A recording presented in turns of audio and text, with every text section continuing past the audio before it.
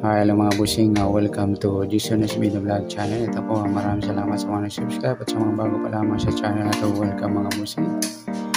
Para fit ka sa mga next video nating upload, please click subscribe button at click mo rin yung notification bell para ma-notify ka sa mga new video ko. Wala ka na ito po.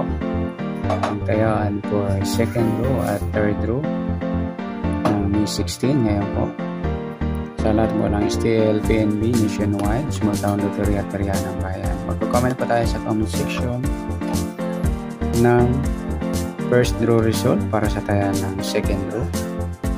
Yan po ang susumada. At para naman sa taya ng third draw, comment nyo po yung second draw result para sumada natin ng taya ng third draw or last draw ng May 16.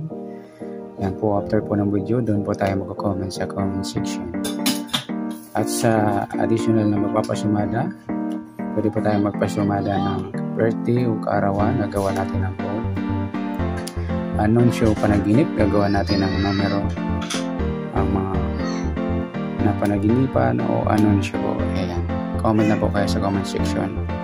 Sa additional na tayo po ng lucky numbers sa Sumara de Pizza, ipili po tayo doon yung bit nyo kung tatayan. Yung gusto lang po tumaya, okay lang.